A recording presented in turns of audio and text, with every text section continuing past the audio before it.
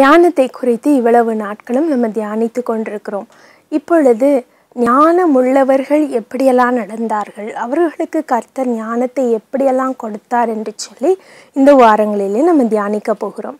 முதலாவது வேதத்தில் நாம் ஒரு பர்டிகுலராக ஒரு குறிப்பிட்ட நபரை எடுத்துக்கொண்டு அவரை குறித்து நம்ம தியானிப்போம். யோசேப்பு என்கின்ற வாலிபனை குறித்து வேதத்தில் நம்ம பார்க்குறோம். இந்த யோசேப்பு எப்படிப்பட்டவனாக இருந்தான்? மிகுந்த ஞானியாக இருந்தான்? சொப்பனக்காரன் என்று சொல்லி அவனுக்கு இன்னொரு பெயரிட்டிருந்தார்கள். கர்த்தர் அவனோடு கூட இருந்தார் என்று வேதம் சொல்லுகிறது. ஆதிய முப்பத்தி ஒன்பதாம் அதிகாரம் இரண்டாம் வசனம் மூன்றாம் வசனம் இருபத்தி ஒன்றாம் வசனம் இருபத்தி மூன்றாம் வசனத்தெலாம் பார்த்தீங்கன்னா கர்த்தர் யோசேப்போடே கூட இருந்தார். அவன் செய்ததெல்லாவற்றையும் வாய்க்க பண்ணினார். இதை போத்திப்பாரும் கண்டான். சிறைச்சாலை தலைவனும் கண்டான் என்று எழுதப்பட்டிருக்கிறது. இந்த யோசேப்பு யார்? யாக்கோபுடைய செல்லகுமாரன்.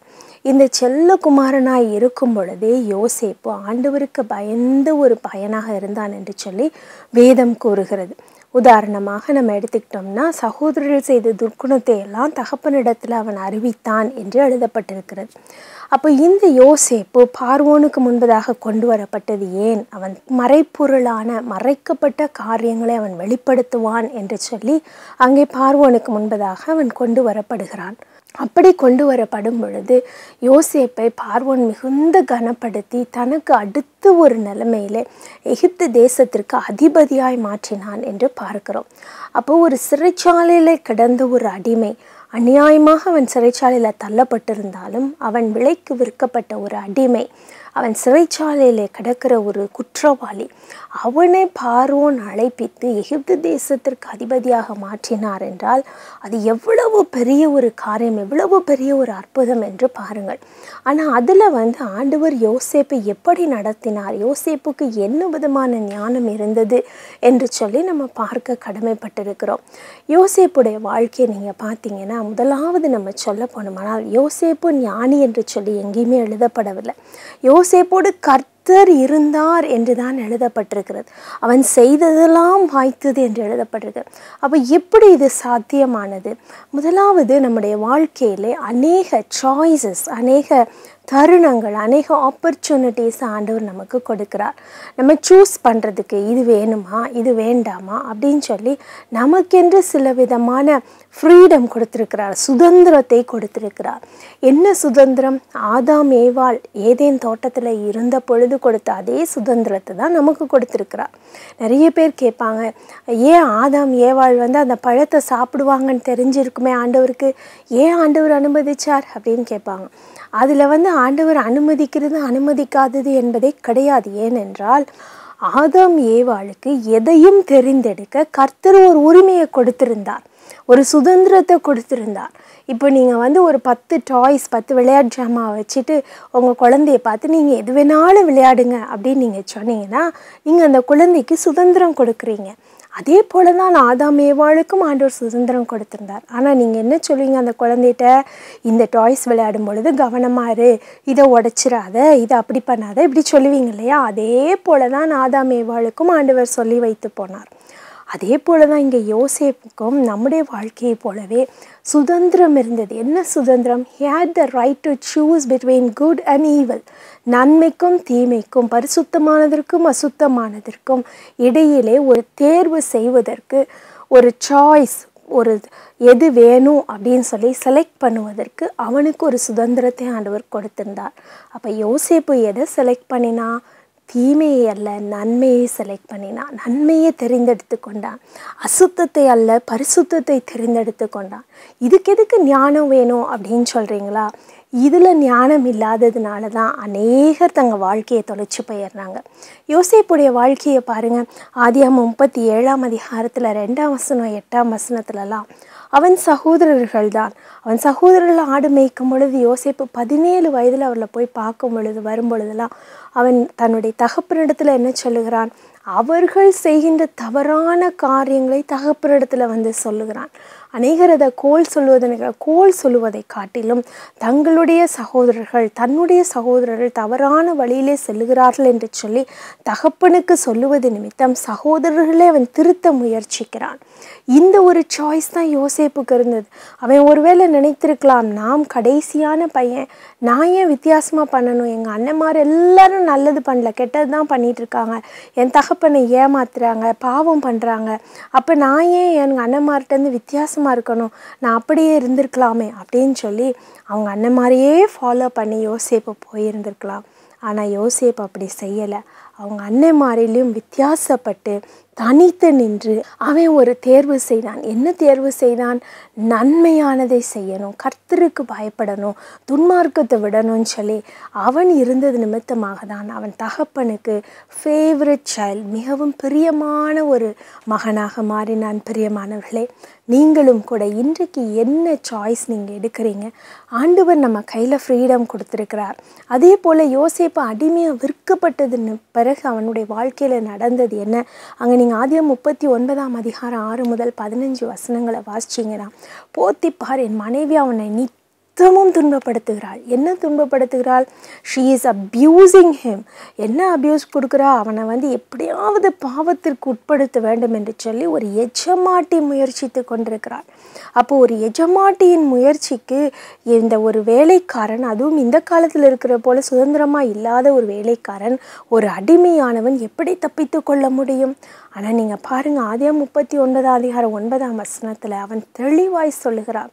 என் எஜமான் எல்லாவற்றையும் என் கருத்தில் ஒப்பு கொடுத்துருக்கிறார். இப்படி அவர் ஒப்பு கொடுத்துருக்கும் போது வீட்டில் யாரும் இல்லைனாலும் நீ என்னை பாவத்திற்கு உட்பட பண்ண வேண்டும் என்று சொல்லி நீ நினைத்தாலும் கூட நான் தேவனுக்கு விரோதமாய் பாவம் செய்வது எப்படி?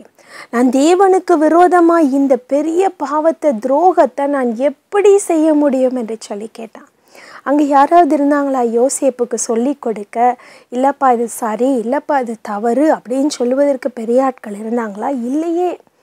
அவனுக்குள்ள தெய்வ பயம் இருந்து அந்த ஞானம் இருந்தது. என்ன ஞானம் இருந்தது? தெய்வ பயம் அவனுக்குள்ள அலை அதிகமாக இருந்தது நிமித்தம் கர்த்தர் அவனை அந்த கரணத்தில் ஞானத்தை கொடுத்து உணர்த்தினார். அதை தான் சங்கீதம் ஐம்பத்தி ஒன்று ஆறில் தாவீது சொல்லுகிறான் உள்ளத்தில் உண்மை இருக்க விரும்புகிறீர் அந்த கரணத்தில் ஞானத்தை எனக்கு தெரியப்படுத்தும் என்று சொல்லி. Show me your wisdom in my inmost being என்று சொல்லுகிறான் என்னுடைய உள்ளான மனிதனில் உம்முடைய ஞானத்தை நீர் தெரியப்படுத்தும் என்று சொல்கிறான் அந்த ஞானம் எதற்கு? இப்படி யாருமே இல்லாத சூழ்நிலையில் இப்படி பாவமான சூழ்நிலையில் சரியான ஒரு தேர்ச்சி செய்வதற்கு சரியான பாதையில் போவதற்கு சரியான சாய்ஸ் பண்ணுவதற்கு இந்த ஞானம் மிக மிக அவசியம். யோசேப்பு இந்த ஞானத்தை வைத்திருந்தபடியினால தான் அவனுக்கு அந்த ஞானம் இருந்தபடியினால தான் அவன் சகோதரர்களுக்கு பின்னாடியும் போகவில்லை. போத்திப்பாரின் மனைவி பாவம் செய்ய சொன்ன பொழுதும் அவன் பாவம் செய்யவில்லை. He made the right choice he made the right choice அதாவது குடும்பத்தில் இருக்கும் பொழுதும் பாவம் பண்ணலை தனியாக இருக்கும் பொழுதும் பாவம் பண்ணலை. நீங்கள் அப்படி இருக்கிறீர்களா? நீதிமொழிகளில் வாசிக்கும் பொழுது ஒன்றாம் அதிகாரத்தில் பத்தாம் வசனத்தில் துன்மார்க்கன் பாவிகள் உன்னை நயங்காட்டினாலும் சம்மதியாதே என்று எழுதியிருக்கள் நயங்காட்டினாலும் என்றால் என்ன? ஒரு குழந்தைக்கு சோறு ஊட்டும் பொழுது என்ன செய்வோம்? அந்த குழந்தைக்கு வேடிக்கை காட்டி அதை பண்ணி இதை பண்ணி ஆசையை மூட்டி அந்த சாக்லேட் வாங்கி தரேன் இல்லைன்னா இந்த காரை பாரு இந்த பஸ்ஸை பாரு அப்படின்னு சொல்லி சாப்பாடு விடுவோம் இல்லையா? அதே போல தான் பாவிகளும் சாத்தானும் என்ன செய்வாங்க? நம்ம கெட்ட வழியில் போகணுங்கிறதுக்காக எல்லாம் அட்ராக்டிவாக ரொம்ப கண்ணுக்கு குளிர்ச்சியான காரியங்களை நமக்கு காட்டுவார்கள். ஆனால் வேதம் என்ன சொல்லுகிறது? அவர்கள் அப்படி நயம் காட்டினாலும் நீ சம்மதிக்க கூடாதுன்னு அதே நீதிமொழிகள் ஒன்றாம் அதிகாரம் இருபத்தி ஒன்பதாம் வசனத்தில் என்ன எழுதப்பட்டிருக்கிறது? அவர்கள் கர்த்தருக்கு பயப்படுதலை தெரிந்து கொள்ளாமற் போனார்கள். அப்போ தெரிந்து கொள்ளாமற் போனாங்கன்னா என்ன அர்த்தம்? அவங்களுக்கு ஒரு சாய்ஸ் இருந்துச்சு. கர்த்தர் அவர்களுக்கு ஒரு ஆப்பர்ச்சுனிட்டியை ஒரு தருணத்தை கொடுத்திருந்தார். எதற்கு? நல்லது எது? தீமை எது? என்று சொல்லி அவர்கள் சூஸ் பண்ணுவதற்கு தேர்ச்சி பண்ணுவதற்கு அவர்களுக்கு ஆண்டவர் ஒரு தருணத்தை கொடுத்தார். ஆனால் அந்த தருணத்தை நழுவ விட்டுட்டாங்க. அவங்க சரியான ஒரு விருப்பத்தை சரியான ஒரு காரியத்தை தேர்ந்தெடுக்கலை. அதற்கு பதிலாக தவறான ஒரு காரியத்தை தேர்ந்தெடுத்தாங்க. அப்போ இந்த சரியான காரியத்தை தேர்ந்தெடுப்பதற்கு சரியான பாதையிலே செல்வதற்கு நமக்கு ஞானம் தேவை. சிம்சோன் சரியான பாதையில் செல்லலை. சாலமோன் சரியான பாதையில் செல்லலை. சவுல் சரியான பாதையில் செல்லலை. இவர்கள் எல்லாரும் தங்களுக்கு கொடுக்கப்பட்ட சுதந்திரத்தை அப்படியே உதாசீனப்படுத்தி போய்விட்டார். விசேஷமாக சாலமோன் கர்த்தர் அளவில்லாத ஞானத்தை கொடுத்திருந்தார். ஆனால் மற்றவர்களுக்கு பிரசங்கித்த இந்த சாலமோனே தன்னுடைய வயோதிப காலத்தில் தன்னுடைய சூழ்நிலை நிமித்தமாக இந்த ஞானத்தை பிரயோஜனப்படுத்த முடியாமல் போனது. அவன் தேவனை விட்டு வழி விலகி போனான் என்று சொல்லி நம்ம பார்க்கிறோம். ஆகவே தான் தாவி இது சொல்கிறான் சங்கீதம் நூற்றி பத்தொன்பதில் முப்பத்தி நாலாம் வசனத்தில் எனக்கு உணர்வை தாரும். அப்பொழுது நான் உம்முடைய கட்டளைகளை கற்றுக்கொள்ளுவேங்கிறான் அதே போல் சங்கீதம் நூற்றி நாற்பத்தி மூன்று பத்தில் சொல்கிறான் உம்முடைய நல்ல ஆவி என்னை செம்மையான வழியில் நடத்துவாராக என்று சொல். செம்மையான வழி சரியான வழி சரியான பாதையை தேர்ந்தெடுப்பதற்கு ஞானம் இருந்தது யோசேப்பினிடத்துல எல்லாருக்கும் சுதந்திர ஆண்டவர் கொடுக்கிறார். ஒன்று பேதுருவில் இரண்டாம் அதிகாரம் பதினாறாம் வசனத்தில் பேதுரு சொல்கிறார் உங்களுக்கு கொடுக்கப்பட்ட சுயாதீனத்தை நீங்கள் துர்க்குணத்திற்கு மூடலாய் எடுக்கக்கூடாதுன்னு சொல்கிறார் the freedom that God has given you should not be used as an excuse to sin நிறைய பேர் அதை தான் பண்ணுறாங்க நமக்கு ஆண்டவர் சாய்ஸ் கொடுத்துருக்காரு. நம்ம என்ன வேணாலும் எடுத்துக்கலாம் அப்படின்னு சொல்லிட்டு எந்த சூழ்நிலையிலும் நான் இப்போ தான் நான் ஃபாரினில் இருக்கேன் யாரும் இல்லை என் கூட. எனக்கு யார் பக்கத்தில் இருந்து அட்வைஸ் பண்ணுறதுக்கு இருக்கேன் நான் காலேஜில் இருக்கேன் நான் ஹாஸ்டலில் இருக்கேன் என் கணவர் வீட்டில் இல்லை. இப்படியெல்லாம் சூழ்நிலைகளை பிரயோஜனப்படுத்திக்கிட்டே பாவம் செய்கிறவர்களாய் மாறி போகிறார்கள். அது ஒரு எக்ஸ்கியூஸ் கொடுத்துக்கிறாங்க. எங்கள் சூழ்நிலை இப்படி. அதனால் நான் அந்த தப்பு பண்ணிட்டேன். No, the Bible clearly says freedom is not an excuse to sin. இஸ்ரவேல் ஜனங்களிடத்தில் ஆண்டவர் சொல்லும் பொழுது உபாகமத்தில் சொன்னார் முப்பதாம் வசனம் பத்தொன்பது இருபதில் உங்களுக்கு முன்பதாக ஆசிர்வாதத்தையும் சாபத்தையும் வைக்கிறேன் ஜீவனையும் மரணத்தையும் வைக்கிறேன். இதில் ரெண்டில் நீங்கள் எதை தேர்ந்தெடுத்துக்கிறீங்களோ அதன்படி தான் உங்களுடைய வாழ்க்கை அமையும் சொன்னார்.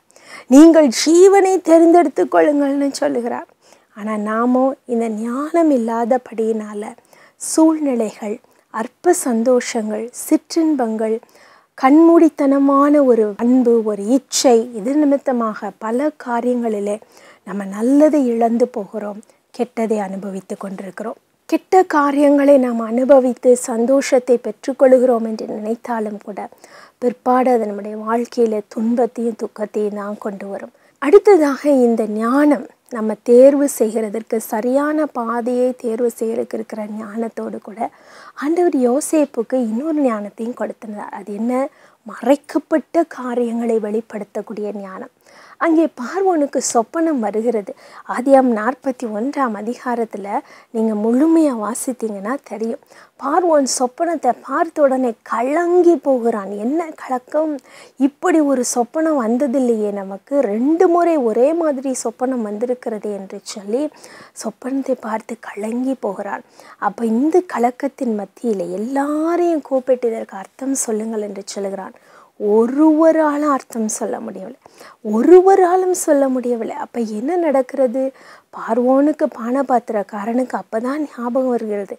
ஐயோ நம்ம சொல்லவே இல்லையே அப்படின்னு சொல்லிட்டு யோசேப்பை குறித்து சொல்லுகிறான். யோசேப்புன்னு ஒரு அடிமை சிறைச்சாலையில் இருக்கிறான். பார்வோனே அவனை கூப்பிடுங்க. அவனுக்கு எல்லா சொப்பனத்துக்கு அர்த்தம் சொல்ல தெரியும்னு சொல்லி. அப்போ அவனை கூப்பிடும் பொழுது அங்கே யோசிப்போ அருமையாய் சொப்பனத்திற்கு ஒரு அர்த்தத்தை தேவன் வெளிப்படுத்தினதை கொண்டு சொல்கிறத பார்க்குறோம். ஆதயம் நாற்பத்தி ஒன்றாம் அதிகாரம் பதினாறாம் வசனம் இருபத்தஞ்சு முதல் முப்பத்தி ரெண்டு வசனங்களை பார்த்தீங்கன்னா தெள்ள தெளிவாய் மறைக்கப்பட்ட காரியங்களை மிகவும் தெளிவாய் பார்வோனிடத்தில் சொல்லுகிறத பார்க்குறோம். நிறைய சமயங்களில் இந்த ஞானம் அநேகருக்கு வராது. நல்ல படிப்பாங்க. நல்ல பிளான் திட்டம் போட்டு வச்சுருப்பாங்க. ஆனால் அதை வெளியே சொல்லும் பொழுது அவர்களுக்கு அதை வந்து எக்ஸ்ப்ரெஸ் பண்ண முடியாது. அவங்கள மற்றவங்கள பார்க்கும் பொழுதே நடுங்க ஆரம்பிச்சிடும் சில பேருக்கு ஸ்டேஜில் ஏறும் பொழுதே நடங்க ஆரம்பிச்சிடும் செமினார்ஸ்லாம் எடுக்கும்போது பார்த்திங்கன்னா நிறைய பிள்ளைகள் நல்லா ப்ரிப்பேர் பண்ணிட்டு வந்திருப்பாங்க. ஆனால் ஸ்டேஜுக்கு ஏறும் பொழுது எல்லாத்தையும் மறந்து போயிடுவாங்க அப்படிப்பட்ட சூழ்நிலைகளில் நிறைய பேர் தங்களுடைய எல்லா ப்ரிப்பரேஷனையும் இழந்து போய் நிற்கிறத நம்ம பார்க்குறோம். அதே போல் வாழ்க்கையில் நீங்கள் பார்த்தீங்கன்னா நிறைய மறைக்கப்பட்ட உண்மைகள் நமக்கு தெரியாதது நிமித்தமாக நம்முடைய வாழ்க்கையை துளைத்து விடுகிறோம். அநேகரை நம்பி நம்ம எல்லா காரியங்களையும் இழந்து போகிறோம். ஒரு சமயத்தில் ஒரு வேடிக்கையான ஒரு சம்பவத்தை படித்தேன். என்னது அது? ஒரு வாலிப பிள்ளை தன்னுடைய பெற்றோருக்கு தெரியாமல் திருமணம் செய்து கொண்டாள். அவள் திருமணம் செய்து கொண்டு வேறு ஒரு ஊருக்கு ஓடிவிட்டாள். அவளுக்கும் இந்த பெற்றோருக்கும் எந்த கான்டாக்டும் இல்லை. தங்கைக்கு இந்த சூழ்நிலையில் திருமணத்திற்கு தேட ஆரம்பித்து விட்டார்கள். ஏன்னா அக்கா போயிட்டா பரவாயில்ல தங்கச்சி கல்யாணம் பண்ணினான் தங்கச்சிக்கும் கல்யாணம் நடந்துருச்சு. அக்காவுக்கும் தங்கச்சிக்கும் எந்த ஒரு கான்டாக்டும் கிடையாது பெற்றோருக்கும் கான்டாக்ட் கிடையாது. இந்த தங்கைக்கு கல்யாணம் ஆன பிற்பாடு இந்த கணவன் என்ன சொல்லியிருக்கிறான்? நான் வந்து வெளியூரில் வேலை செய்கிறேன் போயிட்டு போயிட்டு நான் வருவேன்னு சொல்லியிருக்கான் இவங்களும் நம்பி இருந்திருக்காங்க. அப்போ அடிக்கடி போய் விடுவான் திரும்பி வருவான் போயிடுவான் திரும்பி வருவான். அப்போ கல்யாணம் ஆகி ஒரு ரெண்டு மூணு மாதத்தில் இந்த தங்கச்சி என்ன பண்ணியிருக்கா? சரி அடிக்கடி அவர் வெளியில் போகிறாருமா ஒரு நாள் வந்திருக்கும் பொழுது அவருடைய ஃபோன் அடித்திருந்திருக்கிறார் உடனே இவள் அந்த ஃபோனை எடுத்து ஆன் பண்ணி யார் பேசுகிறது அப்படின்னு கேட்டால் அந்த மறுமுனையில் ஒரு லேடிஸ் வாய்ஸ் ஒரு பெண்ணுடைய குரல். அப்போ இவள் யார் நீங்கள் உங்களுக்கு என்ன வேணும் அப்படின்னு சொல்லி கேட்டப்போ அந்த பொண்ணு தான் பேரை சொல்லியிருக்கா. இவளுக்கு தூக்கி வாரி போட்டுருச்சு. ஏன் தெரியுமா? அது தன்னுடைய அக்கா. உனக்கு எப்படி இந்த நம்பர் தெரியும்? இது என் ஹஸ்பண்டோட நம்பர் ஆச்சே? அப்படின்னு சொல்லி தங்கச்சி கேட்க. அப்போ அந்த அக்கா சொல்லியிருக்கா நீ யார்? அது என்னுடைய ஹஸ்பண்டு அப்படின்னு சொல்லியிருக்கா. அப்போ என்ன அதில் காமெடினா ஒரே மனுஷன் அக்காவையும் ஏமாற்றி திருமணம் செய்து வேறு ஊரில் குடித்தனம் வச்சுட்டான். தங்கச்சியை ஏமாற்றி இங்கே குடித்தனம் வச்சுட்டான். அப்போ ஒரே மனுஷன் ஒரே குடும்பத்தில் இருக்க ரெண்டு பேரை ஏமாற்றி திருமணம் செய்து கொண்டது அந்த குடும்பத்தினருக்கே தெரியவில்லை. எவ்வளவு ஒரு முட்டாள்தனமான ஒரு காரியம் பார்த்தீங்களா இப்படித்தான் உலகத்தில் நிறைய மறைக்கப்பட்டு விடுகிறது. அநேகருக்கு இந்த மறைக்கப்பட்ட உண்மைகளை கண்டுபிடிக்கவே தெரியாது. அவள் அப்படியே மேற்போக்கில் எல்லாவற்றையும் ஆன் த சர்ஃபேஸ் அப்படியே எடுத்துகிட்டே போயிட்டே இருப்பாங்க. ஆனால் வாழ்க்கையில் அது நமக்கு எப்பொழுதும் ஆசீர்வாதமாக இருக்காது. ஆண்டவர் நம்ம பாதுகாப்பார். கபடற்றவர்களை கர்த்தர் காக்கிறார். ஆமாம் கரெக்ட் ஆனாலும் ஒரு சில விஷயங்களில் இப்படிப்பட்ட சூழ்நிலைகளில் பார்வோனுக்கு முன்பதாக நிற்க வேண்டிய சூழ்நிலைகள் உங்களுடைய உயர்வுக்கு ஏற்ற சூழ்நிலைகள் உங்களுடைய குடும்பத்தை பாதுகாக்க வேண்டிய சூழ்நிலைகள் இப்படியெல்லாம் இருக்கும் பொழுது மறைக்கப்பட்ட காரியங்கள் உங்களுக்கு வெளிப்படுத்தப்பட்டால் ஒழிய உங்களால் ஜமாளிக்க முடியாது. பல சூழ்நிலைகளில் எதிர்காலங்களை குறித்து நீங்கள் கலக்கத்தோடு இருக்கும் பொழுது மறைக்கப்பட்ட உண்மைகள் ஞானத்தோடு வெளிப்பட வேண்டும். அப்பொழுது தான் நீங்கள் வந்து எதிர்காலத்தை எப்படி நம்ம நடத்த முடியும் என்று சொல்லி தெரியும் இப்படி சொப்பனத்தில் தான் ஆண்டவர் காட்சி அளிக்கணும் அப்படிங்கிறது கிடையாது. சொப்பனத்தினுடைய அர்த்தத்தை தான் ஆண்டவர் சொல்லி உங்களுக்கு மறைக்கப்பட்ட உண்மைகளை சொல்லணும்னு கிடையாது. சங்கீதம் இருபத்தி ஐந்து பதினாலு சொல்கிறது கர்த்தருடைய ரகசியம் அவருக்கு பயந்தவர்களிடத்தில் இருக்கிறது என்று சொல்லி. அவருடைய ரகசியம் எப்படி நம்மிடத்தில் இருக்கு? பரிசுத்த ஆவியானவர் நமக்குள்ள இருக்கும் பொழுது அவர் தேவனுக்குரியவைகளை நமக்கு அறிவிக்கிறார். யோவான் பதினாறாம் அதிகாரம் பதினாலாம் வசனத்தில் அதை தான் நம்ம பார்க்குறோம். அவர் என்னுடையதில் எடுத்து உங்களுக்கு அறிவிப்பார் என்று சொல்லி ஏசப்பா சொல்கிறார். அப்போ ஏசப்பாவுக்கு மறைக்கப்பட்டது எதுவும் உண்டா? இல்லவே இல்லை. அப்போ அவருக்கு மறைவானது இல்லாத பொழுது நிச்சயமாக எல்லா காரியங்களையும் அவர் நமக்கு வெளிப்படுத்தி எதிர்காலத்தில் இப்படி தான் இருக்கணும். உன் மகளுக்கு இப்படி தான் செய்யணும். உன் மகனுக்கு இப்படி தான் செய்யணும் என்று சொல்லி அவர் எல்லா உண்மைகளையும் உங்களுக்கு வெளிப்படுத்துவார். நிறைய பெண்கள் நிறைய குடும்பஸ்தர்கள் அவர்களுக்கு இந்த ஞானம் இல்லாதபடியினால் கலங்கி போய் தத்தளித்து கொண்டிருக்கிறார்கள். எப்படி ஆகுமோ என்ன ஆகுமோ என்ன செய்வேனோ என்று சொல்லி ஆண்டவரிடத்தில் இந்த ஞானத்தை கேளுங்க ஏசப்பா. ஒரு மனுஷனுக்குள்ளே இருக்கிற காரியங்களை எனக்கு தெரியலை ஆண்டவரே. இந்த காரியங்களை எனக்கு நீங்கள் வெளிப்படுத்துங்க. என்னுடைய இருதயத்தில் ஞானத்தை கொடுங்க. என்னுடைய மனதில் அதை புரிந்து கொள்ளக்கூடிய தன்மைகளை தாங்க. பார்வோனின் சொப்பனத்தை குறித்து நீங்கள் யோசேப்பினிடத்தில் சொன்னீங்களே. அதில் என்ன ஒரு அருமையான அழகு என்றால் யோசேப்பு சொல்லும் பொழுது பார்வோனிடத்தில் சொல்லுவான் இந்த சொப்பனம் நிச்சயமாகவே நடக்கும். இது ரொம்ப முக்கியமானது. எகிப்து தேசத்தையே பாதிக்கும். இதனால தான் சொப்பனம் ரெட்டித்தது என்று சொல்லி ஏன் ரெண்டு தடவை அந்த சொப்பனம் வந்துச்சுங்கிற அந்த ஒரு அர்த்தத்தை கூட பார்வோன் இடத்துல யோசேப்பு சொல்லுகிறத நம்ம பார்க்குறோம். அப்போ அப்படி யோசேப்புக்கு மறைப்பொருள்களை வெளிப்படுத்தின தேவன் உங்களுக்கு வெளிப்படுத்த மாட்டாரா? நிச்சயமாக வெளிப்படுத்துவார். நீதிமொழிகள் இருபதாம் அதிகாரம் ஐந்தாம் வசனம் சொல்லுகிறது. ஒரு மனுஷனுடைய இருதயத்தின் எண்ணங்கள் எல்லாம் ஆழமான தண்ணீர் போல இருக்கிறது. எவ்வளவு தான் நம்ம நெருக்கமாக பழகினாலும் ஒரு மனுஷனுடைய எண்ணங்களை நம்மளால் புரிந்து கொள்ள முடியாது. ஆனால் அந்த எண்ணங்களிலிருந்து புத்திமானவைகளை மோண்டு எடுப்பான் என்று எழுதப்பட்டிருக்கிறது. அப்போ இந்த புத்திமான் மோண்டு எடுக்கணும்னா அவனுக்கு என்ன வேணும்? மறைப்பொருளை வெளிப்படுத்தக்கூடிய ஞானம் வேணும். கர்த்தர் உங்களுக்கு சொல்லி கொடுப்பார் பிரியமானவர்களே. கடைசியாக யோசிப்புக்கு இருந்த ஞானம் என்ன? அந்த மறைப்பொருளை வெளிப்படுத்தினது மாத்திரமல்ல ப்ராக்டிக்கலாக தெல்ல தெளிவாக நம்பிக்கையோடு கூட எதிர்காலத்தை எப்படி எதிர்கொள்ள வேண்டும் கலக்கமான சூழ்நிலை எப்படி எதிர்கொள்ள வேண்டும் என்று சொல்லி ஒரு தெளிவான திட்டமிடுதல் அவனுக்குள்ளே இருந்தது. எவ்வளோ ஒரு சடனாக நடக்குது பாருங்கள் அவன் சிறைச்சாலையிலேருந்து போகிறான். அவனை அவசர அவசரமாக எழுப்பி ஷேவ் பண்ணி அவனுக்கு நல்ல ட்ரெஸ் போட்டு பார்வனுடைய சமூகத்தில் கொண்டு போய் நிற்காட்டி வைக்கிறாங்க. அப்போ பார்வனுடைய சமூகத்தில் நிற்கும் பொழுது இன்னொருவராக இருந்து அவங்க என்ன செஞ்சுருப்பாங்க? அப்படியே ஆடி போயிருப்பாங்க. They had no time to grasp what is going on திடீர்னு உங்கள் வீட்டில் ஒருத்தர் கதவை தட்டி இங்கே வாங்க உங்களை பிரைம் மினிஸ்டர் கூப்பிட்டாரு உங்களை பிரசிடென்ட் கூப்பிட்டாரு அப்படின்னு சொல்லி கொண்டு போய் நிப்பாட்டி வச்சா நீங்கள் என்ன பண்ணுவீங்க? அப்படியே என்ன செய்கிறது என்ன நடக்கிறதுனே புரியாமல் முழிப்பீங்க இல்லையா?